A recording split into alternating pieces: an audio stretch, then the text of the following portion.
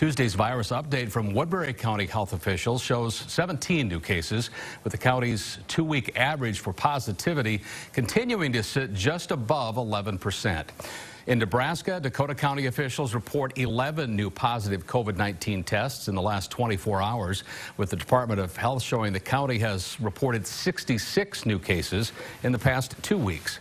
And out of South Dakota, Clay County now reports 194 active cases with substantial spread in the community. Yankton County showing 71 active cases today.